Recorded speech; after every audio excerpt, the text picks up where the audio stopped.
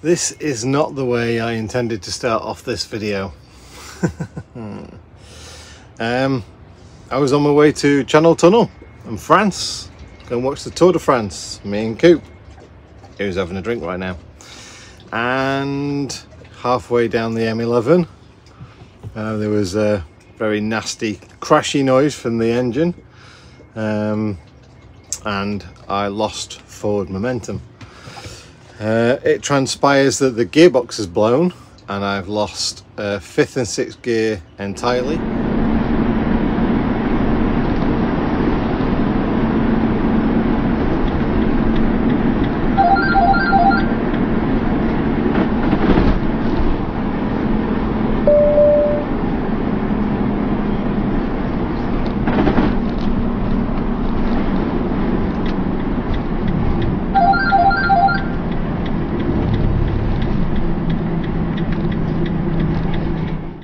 So pretty much as soon as the first clip's over and done with that you saw there, um, I stopped, pulled over on the hard shoulder, pulled the bonnet open, you know, I'd look underneath, couldn't see anything. I was expecting something's dropped off. It sounded like I'd run over a ladder or something weird like that. And I was expecting something to be visible underneath as to why things weren't working now. Um, but there was nothing there. Um, so yeah, I just thought, well, it must be all right. Let's just carry on then. So I set off up the hard shoulder again and I sort of like, you know, it's a bit whiny.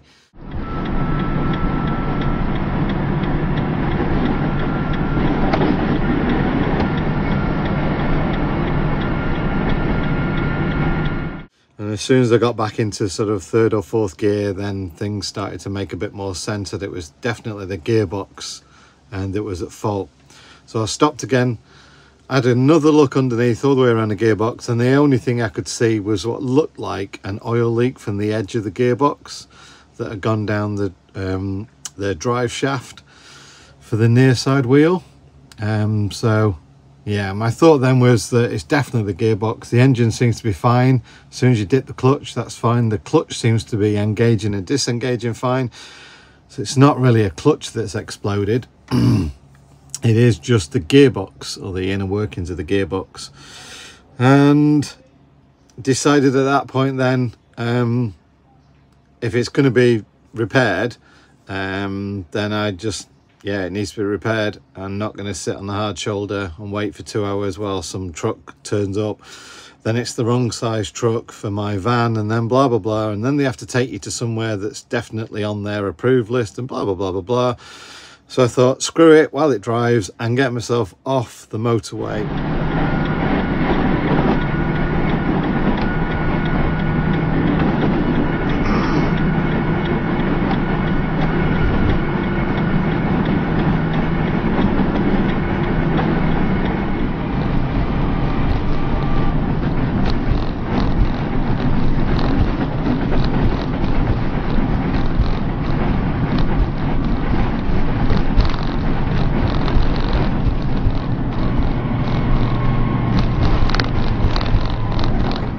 and um, yeah into safety basically. So that's what i did. I came off the next junction which turns out to be about nine miles down the motorway.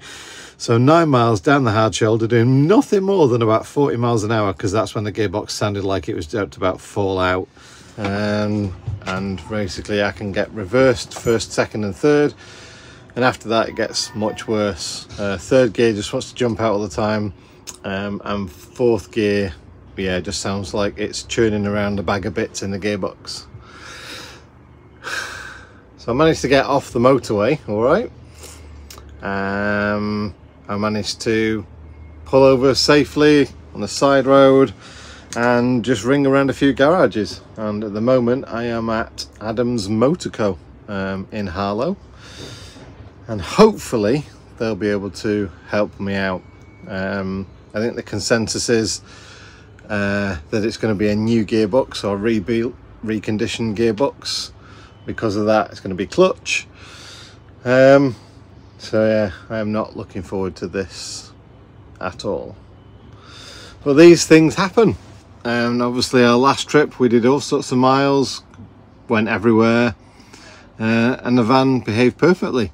it just looks like for whatever reason something um, has given up in the gearbox so I'm just sat here now waiting for them to tell me how much it's likely to be. And I'm kind of a bit stuffed because I found a few garages before I got to this garage and some of them can't fit the van in physically or can't fit um, time wise because in about well 12 hours time um, I should have been getting on the channel so that's going to be my next thing now is phone the channel and ask them to um, reschedule my crossing to whenever I don't know yet. So let's just rewind a little bit. Obviously, over the last four months, you guys know what's been going on. You know the changes have been made and stuff like that. Um, and I guess it might seem a bit of a shock that I'm on my way to France with Coop um, when the gearbox issue happens. So why am I on my way to France with it's just me and Coop? Well, for the past four months like I say everything's been going on um, and I've been basically sitting back and waiting for Mandy to make changes and do what she needs to do and things like that selfishly now the way I see it now it's very selfish of me to wait for Mandy to to make all the changes she needs to make and then I just sort of like play catch up with it or whatever um, but I think in the back of my head what I was hoping for is that she would make all the changes, go through the stuff, and then we would end up back in one van, this van. And yeah, like I say, selfishly, that meant that everything that Mandy was trying to do, um, she was kind of carrying the weight of my life with her as well. So imagine like I just jumped on a train and every time it stopped at a station I got off and had a look around. Didn't particularly like it. Thought you know I'll just jump back on the train again wait for the next stop. And then after so long of getting off at these little stops and realizing I didn't like it I just stayed on the train and started to get a bit annoyed that it kept stopping at places I didn't like. Um, and I started to um, withdraw in myself as well so I didn't like being around anybody um, I started to get very frustrated and angry with a lot of people. Um, and it changed me. It made me into someone that I didn't like so much. It was like effectively I was lost in myself. I had just lost myself. I'd lost the desire to do things. I'd lost the wherewithal to make a decision about anything. Um, second guessing anything I did decide. Um, you know the usual thing that you basically just yeah get lost basically. Um, and obviously the train driver was Mandy and the train was my life. And it's like I say it's highly unfair for Mandy to carry the responsibility of deciding what's good for me what I like to do and what made me happy and all that kind of stuff. Um, and it took me a long time to see that um, we've basically had a chat over the last sort of couple of weeks or so to say I just don't know what it is I'm supposed to do. I felt like what I was supposed to do was to sit around and wait for Mandy to suddenly, you know, see the light of day and go, yes, I know what it is I want to do now. Um, but truth is that she's trying to get used to this as well. Um, where to go, what to do, and get used to these changes in her body and some of the um, supplements she's taken and how those affect her in that as well. So to carry the onus of me sitting there and waiting as well obviously was unfair. Um, and whilst I wouldn't say it's you know messed up our relationship, it didn't help with the fact that we were getting on so well. We started to have arguments again, which the whole concept of this is to try and fix us so that we are happy with each other um, and that seemed to be backfiring. So for the last 28 years we've been a team. Mandy and I have been a team. And I guess part of this other thing about me not deciding anything and doing whatever you call it selfish things of making Mandy decide or whatever um, the other side of it is that I've not been deciding what I want to do for me. Um, because I've not really been used to it. and it's the same with traveling every bit of traveling we've done for the last 28 day, 28 years um, we've decided what to do. So i might say right okay should we go there today? But within that you know two people are making decisions about you know where you're going the food you're going to eat um, if you go somewhere you know get a bit of shopping or paying for tolls along the route there's an awful lot of um, things that i've taken for granted that mandy's done and i'm now doing all that myself. And i have to say hand on heart i'm finding it a little bit daunting. I've got these sort of um, concerns in the back of my head. Can i do it? Is it going to be all right? Um, you know, can I get Cooper through passport and all that into France and everything? Because Mandy's done all that in the past. So this is all going to be quite new to me. I'm just, I guess, expecting things to be very different and more difficult. And because of that, um, and the last four months, I'm kind of like, pre-programming myself to go don't bother then and what I've really got to do is bother I've got to put the effort in. I mean for the last um, probably four weeks not really picked up a camera. Um, I've not edited the videos apart from the Max Fun video. Um, and to be fair um, pretty much most of the time I didn't do anything to camera because I figured well you don't really want to know this do you? You don't want to know what I'm thinking or I'm up to. It's not exciting um, there's no drama here um, there's no laugh and jokes and all that kind of stuff um, it's just me talking about general life and that's it. Um, and to the point of thinking um, yeah, there's no point. What is the point? So those are all the mix mash of stuff going around my head for the past few months.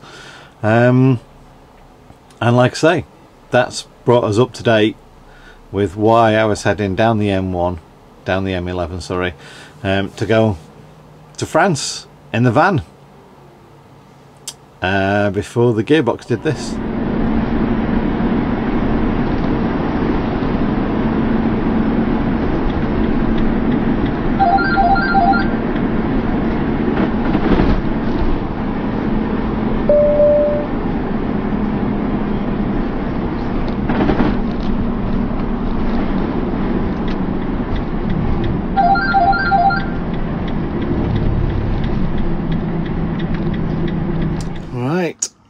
So, an update and hopefully some sort of uh, plan. Um, I'm going to stay here um, at the garage tonight. Uh, tomorrow they're going to take the van, strip out the gearbox and clutch and everything like that and hopefully they've got another gearbox and clutch coming tomorrow. Hopefully it'll just take them a couple of days. Uh, so hopefully um, it's Tuesday today, they're going to start on Wednesday, Thursday, so hopefully by Friday should be done. Um, it's three and a half grand. Um, so I just have to pay a thousand pound deposit um, so they can order all the parts. Um, like I said, they're letting me stay here tonight, but then I've got to go and find um, an Airbnb or something similar. Um, but yeah, these things happen.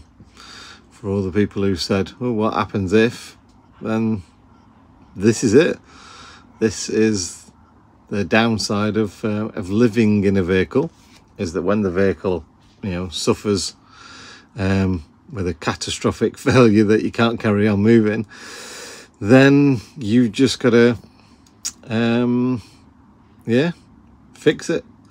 So, um, having enough money um, to fix it is the first one having enough money to pay for hotel bills and things like that. Um, which you know is something that you'd save up for given the fact that it is so cheap living in the van. So yeah. How do you cope when things fail um, money in the bank or credit card? Whichever way is the the simple answer to that. Uh, the long answer to it is that you get it fixed. Um, because obviously um, paying three and a half grand, um, you know, is far, far, far less than the value of the van. I don't know what the value of the van is these days, but I'd probably guess in excess of 60k or something like that. Um, so yeah, was it 5% then? 5% of the van's value, and then at least it's got a new gearbox in it and new clutch. So down the line, that does help. Right, well, Coop's having a drink, because obviously that's what he does. Um, I'm going to phone Mandy now and explain what's going on. She was thinking of heading down this way she's about two hours away. Um, so yeah maybe three of us in bumble rather than getting an airbnb or a hotel for a couple of nights. We shall see. So i had a lovely night at this industrial estate probably about quarter to six this morning i think everyone arrived to work so um, yeah is what it is um, but hopefully today will be the day and Bumble's arrived to the rescue. Hiya. Hiya. Didn't think we'd be seeing you again so soon. I know. That would be about two months, didn't we? Aye, I mean, I know you love me now, but this is just a bit too far to go to uh, get bit to see me a little bit, a little bit more before you go. Three and a half grand, babe. That's what you're worth. Oh, you know, I never knew he had such a price tag. Oh dear, so we're just waiting for the garage owner to get in to book it in today and then um, shoot off and what do you want to do? Duxford du Air Force? Duxford. Duxford Air Museum or something. There's a quick one. Where was the last time you heard the word said Duxford? Duxford. No idea. And when we went to France and we went to that V2 bomber site, oh, yeah, and that, that little French guy mm. comes out, he came to Duxford to get one of the V2s to go and use it for restoration purposes at the site. So you see, there synergy. You I like it. What goes around comes around. But yeah, make the most of an overcast day because Cooper can't go in. So yeah, might as well do some stuff while we're here. Yeah. So we're going to offload all my stuff into Bumble and then um, hand my keys over and see what happens. Mm. Obviously priorities um, so yeah, uh, there was a Tim Hortons, Timmy Ho Ho's, apparently it's called or something. Tim Hortons coffee shop and donuts and everything, and breakfast and all that kind of stuff um, before we headed off to Duxford. So, for everyone that wondered, will three of us fit in Bumble? Yes. We've got the uh, roof fan on, got the side vents open.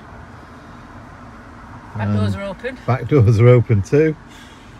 Yeah, we are in Royston Town Centre car park right now. So um, doing a bit of stealth camping because it was close to somewhere to walk coop, a um, bit of shopping and uh, we had a pub lunch as well. And I have spoken to the garage and I got some notifications off the van to say that it had been moving. So uh, obviously checked on the cameras and the guy was out doing a test drive in it. So it drives uh, they're confident that everything's all right, but because they know I'm ready to do this big trip, they want it for another half a day to go out and do a longer journey tomorrow. Yay for my diesel. Um, and then come back and then do an inspection on the ramp, make sure the oil levels and things like that are, uh, are okay. So it sounds like, to me, it sounds like they are very caring and, um, you know, sort of uh, conscientious garage. So I'm going to let them do that. Obviously, um, Mandy can stay here for another couple of days anyway. So I'm going to give them the opportunity to make sure they're happy with the van and everything's all right. So that if anything hopefully doesn't happen, but if anything should happen with the van, there won't be a question over warranty that I didn't give them the right time or anything that, you know, they just resolve that. Um, but I am probably as well, once I pick it up from there, I'm probably going to do a few loops of the M25 or something like that um, to fully test it out myself before I then shoot off into France. So there we go. So we've just got to still quarter to seven, so it's still quite quite early, but we've got some snacky snack snacks. Yeah, we've got a few snacks. Going to give uh, the opportunity to Cooper to have his tea, although probably won't because things are different. Things are different, and, and it's, it's warm. So he had some sausages at the pub, which obviously he liked. So yeah, watch some on telly we'll have a nice um, cozy warm evening. Yes because it seems that that's the way it's going to be. Yeah. Well good morning. Just had a phone call from the garage. I had notifications off the cameras and all that that um, they've been out in it again.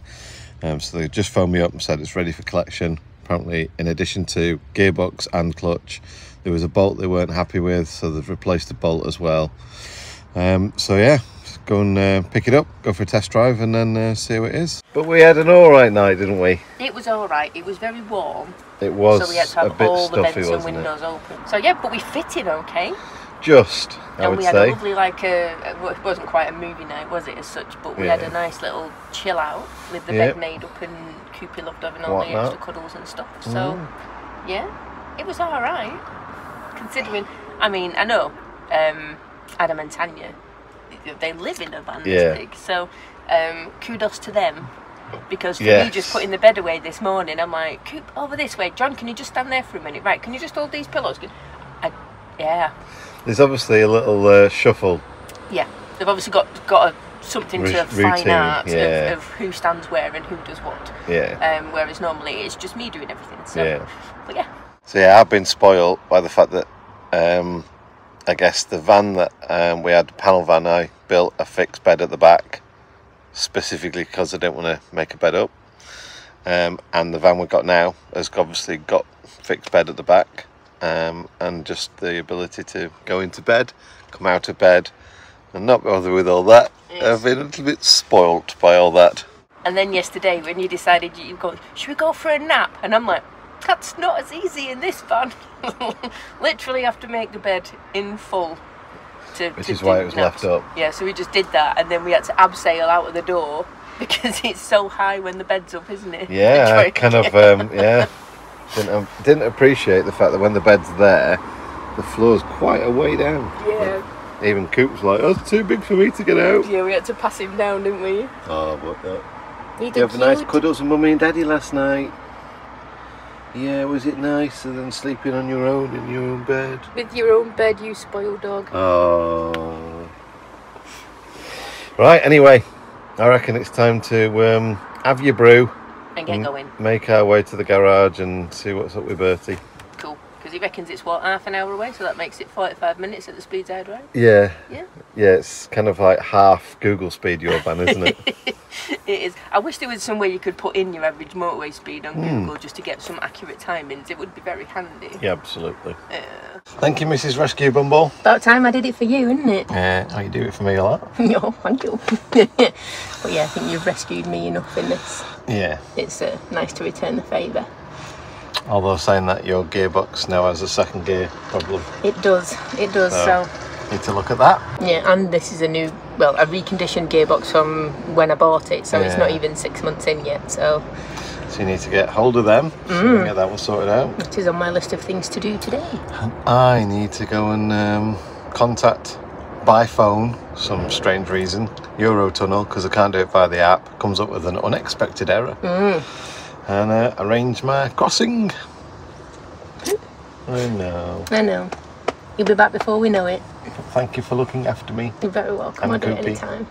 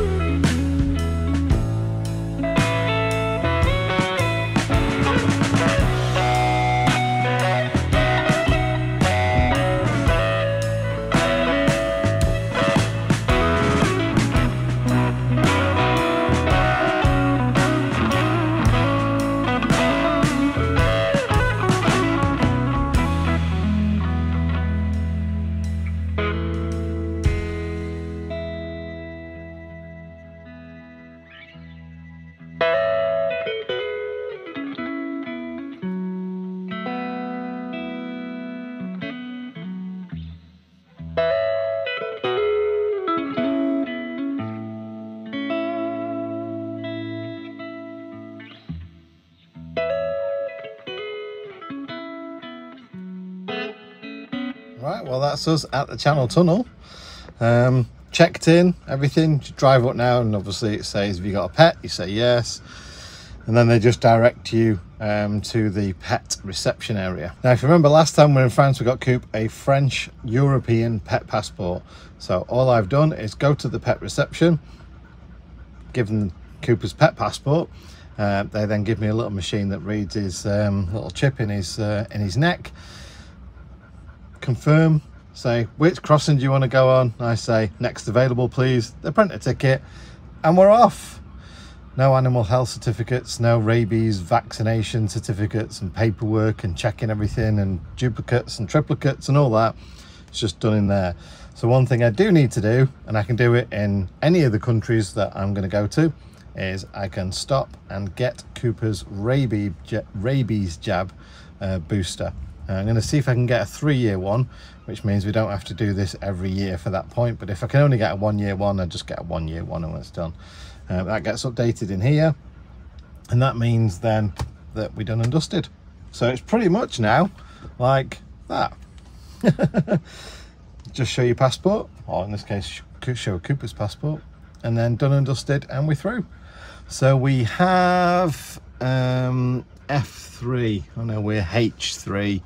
H3 is 50 minutes. Uh, so we've got about an hour to wait until it's going or until they call us or you can embark. And then we go queue up and then hopefully within the next hour we'll be on the train and in France. So there's two things I need to do right now. Number one is phone Mandy and let her know it was as easy as we thought. And number two, pick a park up for tonight and try and catch up with my original plan of following the Tour de France. But I think this video is a wrap. I think I'd like to start the next video on a positive note of being in France following the Tour de France. So there we go. So thank you for watching and obviously um, hope some of this content has helped you in some way, shape or form. And um, yeah, if you're not already, subscribe, come along for the ride, find out what we get up to next time. See you later, guys. Take care. Bye.